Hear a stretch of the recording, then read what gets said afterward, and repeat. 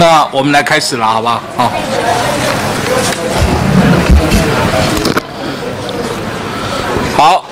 跟各位报告哈，啊，我们这个今天的协商是这个呃院会交下来哈，我们呃一百零八年十一月二十九号第八次会议第十二次院会决议。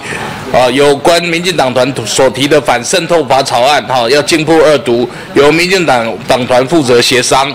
那我们在十二月六号，哈，我们在十二月六号有发出协商通知，发出协商通知。那我们的了解是，国民党并没有收这个协商，哈，协商通知，哈。那今天亲民党也在这里，哈，那呃，的时代力量也在这里，哈，那民进党也在这里。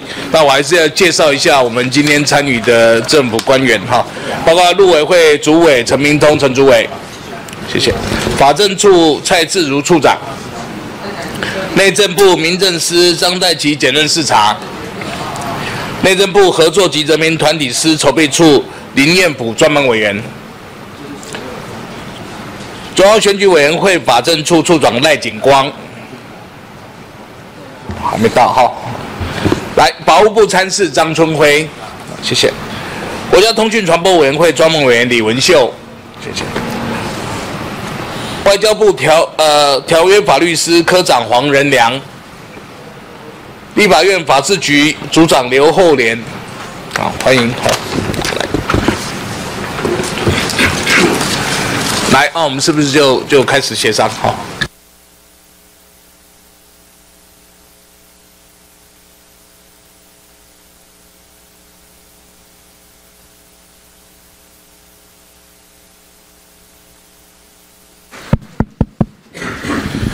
跟各位报告了哈，因为我们的了解是国民党就不会来，所以今天协商也不会成哈。那我们是不是就把这个直接交院会处理？对，我想还是发言一下了哈。这边是呃代表我代表那个时代力量党团哈，呃希望这个呃呃这个我们提的啊《两岸人民关系条例》及反境外敌对势力并吞渗透法能够呃并案讨论。在周五的那个院会里头呢，可以并案讨论啊。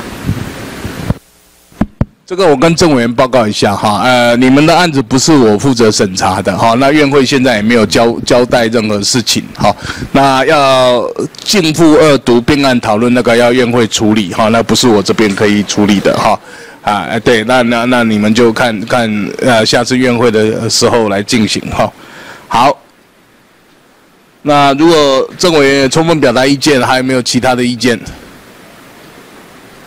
那没有意见的话，因为今天协商国民党没有参与哈，所以我们就是没有协商结论，那我们就直接送院会处理。各位有没有意见？